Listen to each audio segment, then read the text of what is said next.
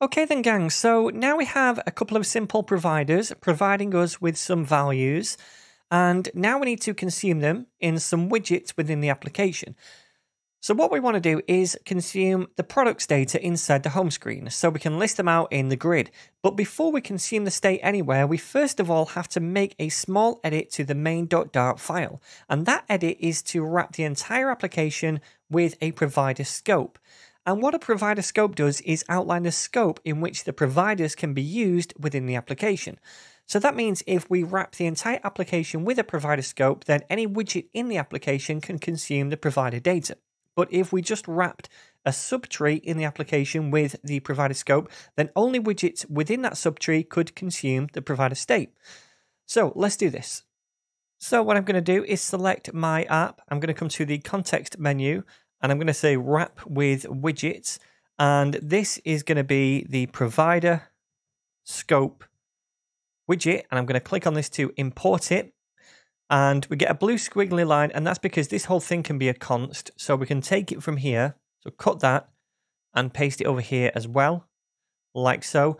Make sure this file gets imported, Flutter Riverpod. We need that to use provider scope.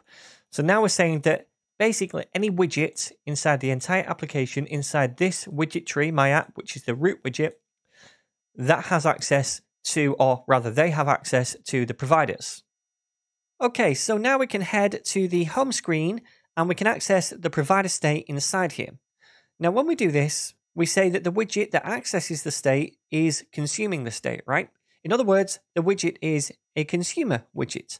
Now, the Riverpod package comes fully baked with a special kind of widget class called Consumer Widget. And we'd use this class when we have a stateless widget that wants to consume some provider states.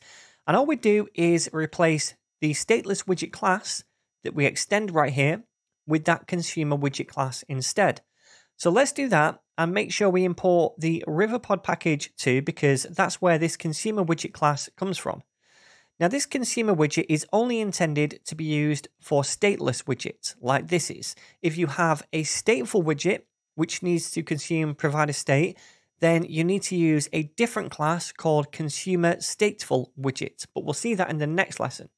Anyway, now our home screen extends this special consumer widget, which essentially adds functionality to the widget for us.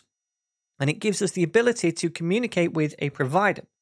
The way it does that is by giving us access to a second argument inside the build method right here of type widget ref.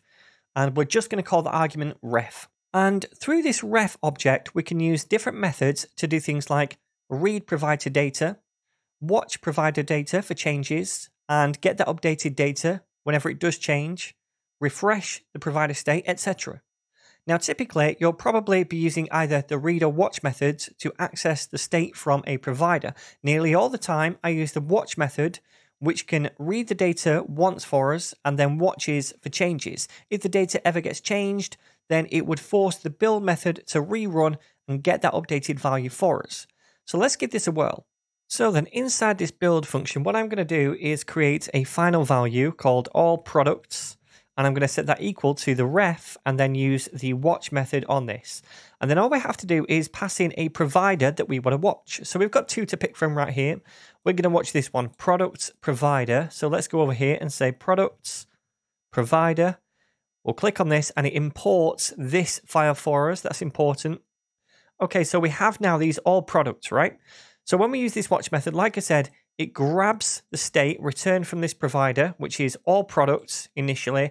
And then if that was to ever change in the future, then we would get an updated value here and it would force the build method also to rerun. So we're updating the UI as well with that new data if we use it in the UI. Okay. So now we have all products. We can use those down here to actually output the products.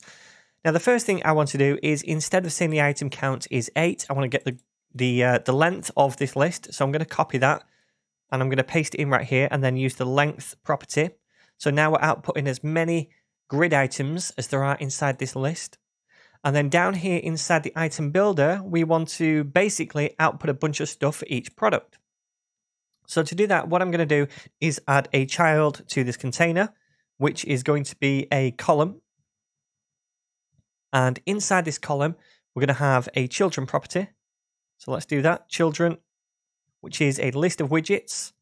Inside this list, the first thing I want for each product is an image. So I'm going to say image.assets and then we need a path to that image. Now, how do we get that? We know it's on all products, right? Um, rather, it's on each product as an image property. And we have the all products list. So what we could do is say all products, and then we can use the index that we get access to inside the builder. Where is that? Right here. And then we can use the image property on that. So dot image and that gets us the path to the image. So it's going to show that image. I also want to give this a width and height. So width is going to be 60 and height going to be 60 as well. Now, after the image, I want to output the product title. So I'll use a text widget for that.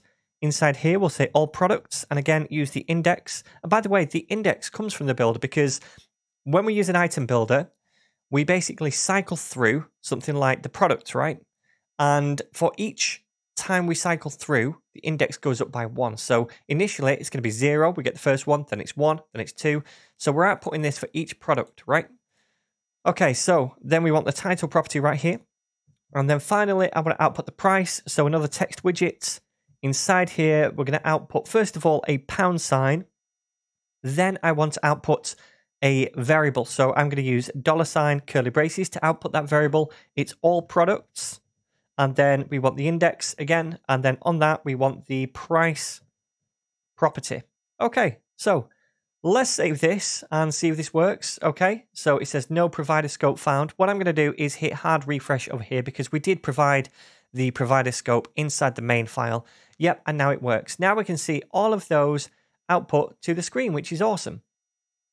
All right, there's a little bit of space at the bottom of each one of these grid items, and that's fine because we're going to add a little button later to add each item to the cart. But now we've seen how to consume a provider inside a stateless widget. And all we do is we extend consumer widget instead of stateless widget.